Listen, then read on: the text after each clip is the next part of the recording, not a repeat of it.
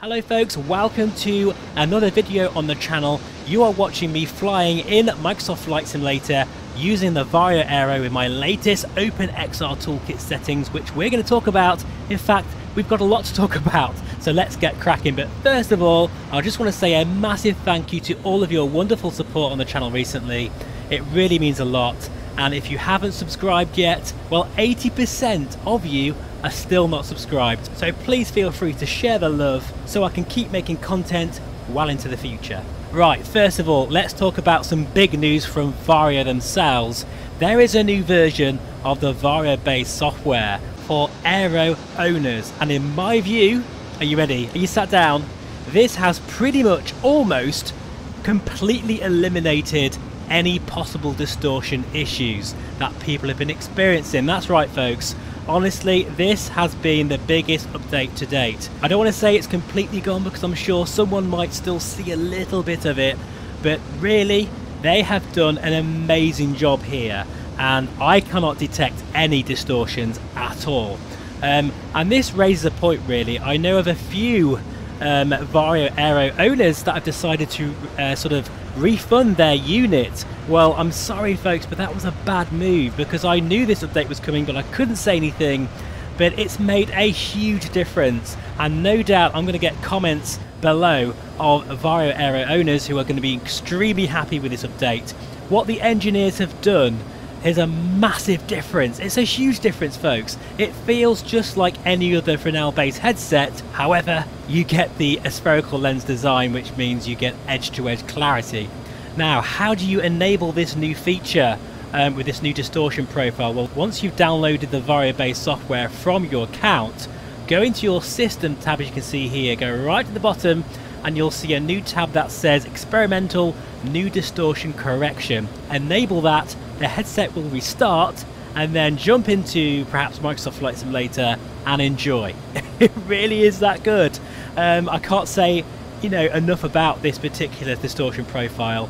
It has really made a massive difference. Now, other things that they've changed as well is within the headset tab itself, the image quality setting. This is where sometimes the headset will ask to calibrate the eye tracking and foveated rendering, and sometimes you'll have to look at the dot. That can get a little bit annoying sometimes if you're taking the headset on and off. Now, I'm pleased to say that you now have an option for remember my calibration or best estimation, and that's the one I use actually, remember my calibration, because um, I find that works perfectly. And that means whenever you take the headset on and off, it, you don't have to keep looking at the dot all the time. That's perhaps more of a minor feature, but a quality of life upgrade which I do appreciate. Um, I think also we need to talk about the OpenXR toolkit, folks.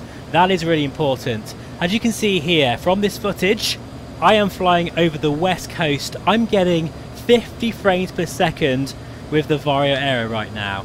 That is absolutely incredible. And here are my settings. Now something to keep in mind, these are my recommended settings. See them as a guide because every system is different. You can get the same system and you'll still get different results, okay? So I cannot say that these are going to be the best for you. These work for me, and I think what the big deal is here for the Varjo Aero is again the fixed foveated rendering. And here I've got my inner ring size at 75% um, with the outer resolution at 1 8 with the 85% option um, I actually I, you can go down to 80% and I find that you don't see any uh, sort of weirdness on the edges. Also for my NIS scale, I actually take the shot sharpness down to 20% and the NIS at 90%. Uh, I haven't really noticed a difference between NIS and FSR, I've tried both of them. Now something to also keep in mind folks, um, I don't think the Varjo Aero really benefits from the OpenXR toolkit like the Reverb G2 does. And the reason is, is the Varjo-based software runs more on your GPU anyway, so it runs better than the Reverb G2 out the box, which I've, I've got videos on that as you probably have seen. So the sort of performance benefit is probably between about 7 to 9 frames per second that I've measured. That's still very, very good. However, I feel with the NIS scaler uh, portion of this OpenXR toolkit enabled, the sharpness of the Varjo Aero actually suffers. I think it's worse with it. I also think the colours are more faded. However, you can change that with your, you know, all the settings within the OpenXR toolkit, including saturation, contrast, all that, all that good stuff as well. But I think, you know, I am going to use the NIS scaler, particularly when I'm flying low down, because those extra sort of 9 frames per second, they get me to a 50 frames per second sort of uh, ballpark, which is super, super smooth, I have to say. But I think generally speaking, I'm probably going to not use the NIS scaler, but I'll always have the fixed foveated rendering set at those figures because that definitely, you know, makes a difference to the performance on its own. So really that's my views really with the Varjo Aero. It's already so sharp that even that slight loss of visual fidelity, it still looks amazing with the OpenXR toolkit, don't get me wrong. It just doesn't look quite as sharp as it does when it's completely native. However, the trade-off is you get those extra 9 frames per second, which in VR, as you know, that's a big deal. In terms of my in-sim settings, well actually you'll notice they're exactly the same as the Reverb G2. However, thank you to many of the people in the comments that have confirmed, and it actually is in the OpenXR Toolkit manual as well, that you need to disable light shafts. That will get rid of the strange lines that may appear when you're using the uh, app.